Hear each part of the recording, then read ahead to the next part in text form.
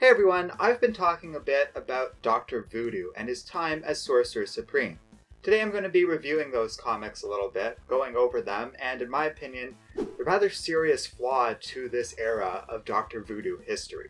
Because here's the thing, it was never that dumb of an idea.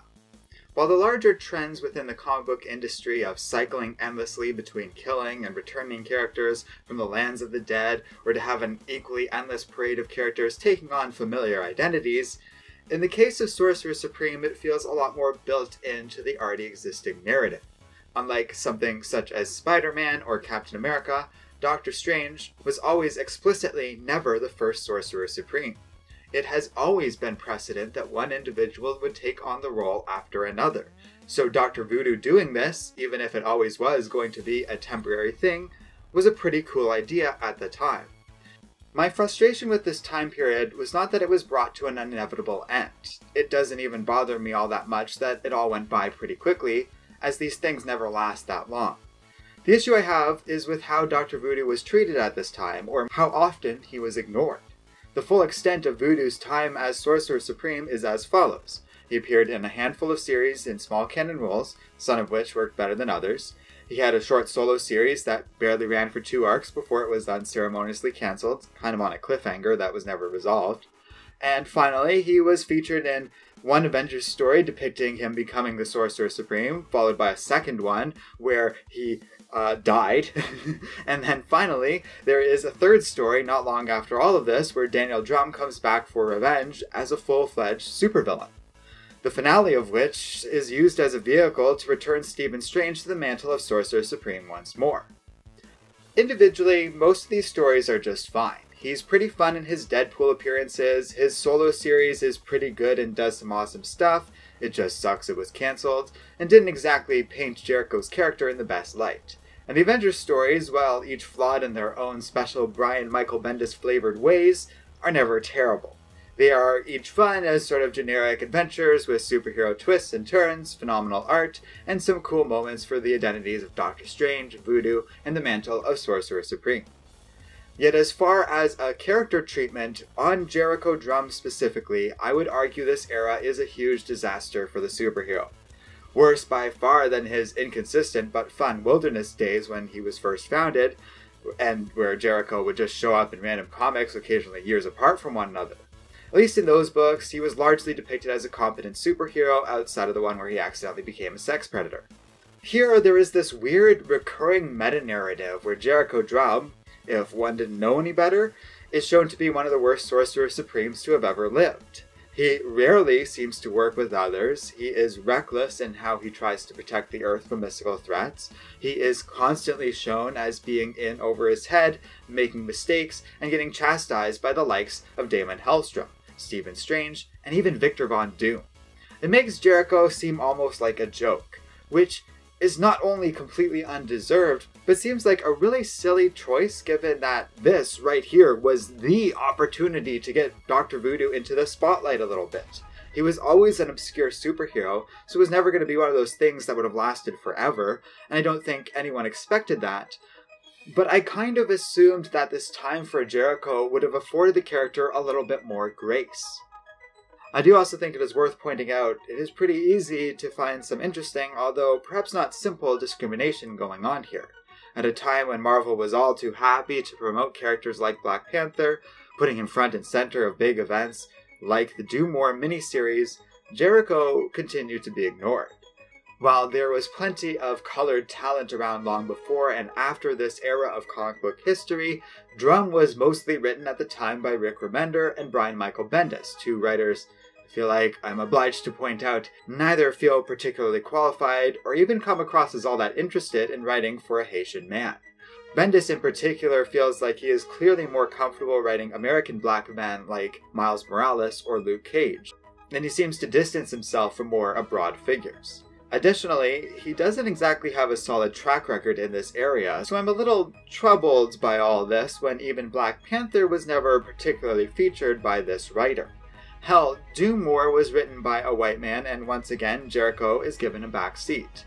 It was easier to give Marvel a bit more of a pass in their more innocent and earlier days with Jericho Drumm, especially in light of the fact that they were, at least back then, consistently trying to feature new black superheroes and make them more and more of a thing.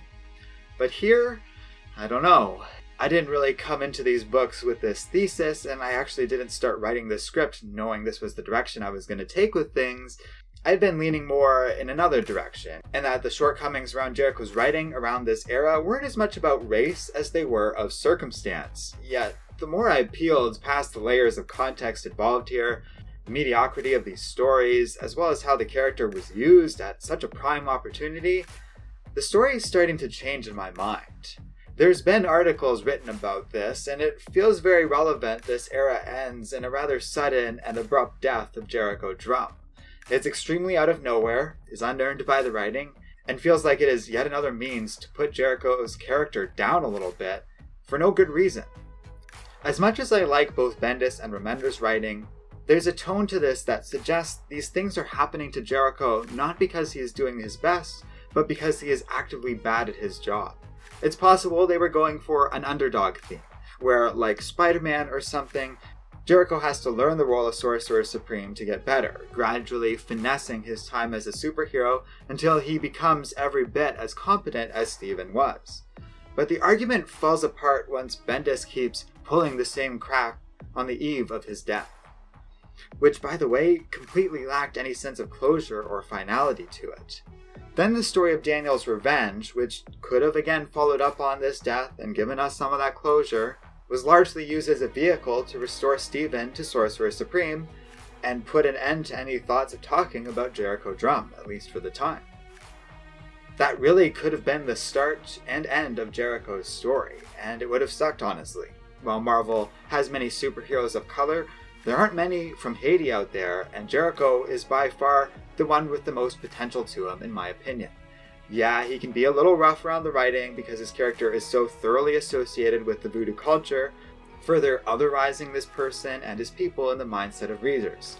It feeds into old tropes and ideas of magical Negroes in fiction, and obviously, none of that is very current and desirable in, a, in proper representation of this nation. Haitians, or even just black people in general.